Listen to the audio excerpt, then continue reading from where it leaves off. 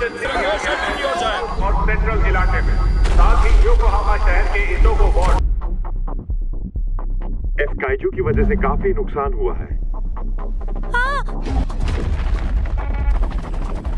तीन किलोमीटर के रेडियस में कोई थर्मस लेकर नहीं रॉजर टारगेट को डीओ पर ले जा रहे हैं फायर खींचने में कामयाब होंगे क्या लगता है कौन सा डिवीज़न आएगा?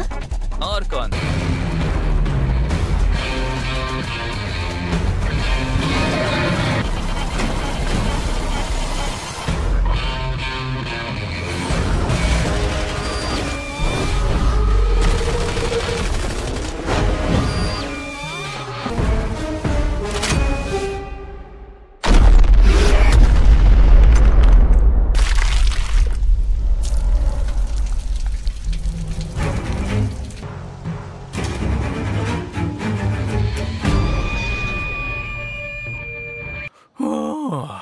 यार उन्होंने स्काईजू के तो चिथड़े उड़ा दिए।